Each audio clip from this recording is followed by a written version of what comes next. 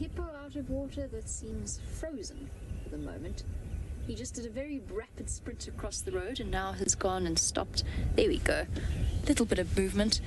So the wonderful thing about being in the Mara is we don't actually often see hippos out of water that frequently in South Africa. Well, we do in South Africa, but on Djuma and during our live drives, it's not often that we do, and it's usually towards dark. But out here, we, it's become an almost regular thing to see them wandering about. And because, of course, it's so open, when we do see them, we can spend a little bit of time with them and really just get an idea of just how massive they are. Now, if we were on Djuma, I would jump out, not right now, obviously, because there's a hippopotamus there. I would jump out and go walk to where he was and stand there so that you could get an idea of the size comparison.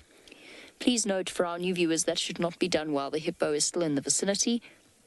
They are quite angry animals at times, or at least they are an animal that chooses the fight option rather than the flight in certain circumstances, especially if you're between them and water.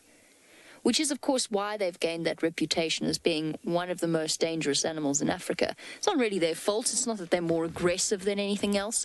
They're certainly one of the larger animals, which, of course, gives them the advantage. But it's also because they live in water and they their safe place is in water.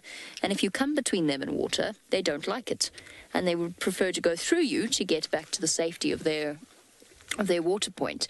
And of course, human beings build homes and cities. Uh, well, cities is a stretch, but certainly villages, towns, and yes, certain cities on the river. Hence why I think it's one of the animals that's responsible for the most deaths of in, of people in Africa. There's lots of them, and they live in rivers, and people generally tend to congregate around water. Washing, cleaning, drinking, whatever it may be.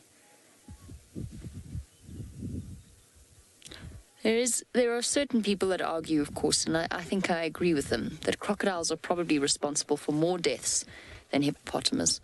The problem is, is that the victims of the hip, of the crocodile are very seldom found.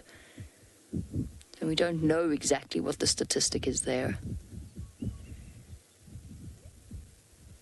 Mostly, they're just animals that want to be left in peace, like all creatures out here. Not aggressive or have it in for human beings. They can be terrifying, though. They can be truly terrifying. And you'd think to look at it, for our new viewers who perhaps haven't seen this, you'd think to look at it that it would be relatively easy to outrun a hippopotamus. I mean, they're, they're rather clumsy looking, they've got relatively stubby legs, and they're quite large. You wouldn't expect them to be able to cover ground in the way that they do, but they're faster than a human being, easily. They're agile, surprisingly agile. They can't jump, so you'd probably be absolutely safe. You would be absolutely safe if you could get out of its reach. But they can traverse very steep banks. There you go, chitty chitty bang bang. No, they are not slow on land. This one is taking a morning stroll but having seen a hippopotamus run before, and it's something that you will see at some point, um, if you keep watching our live safaris, you'll see what a, a, hippopotamus is capable of doing. It's actually quite terrifying just how fast they can move.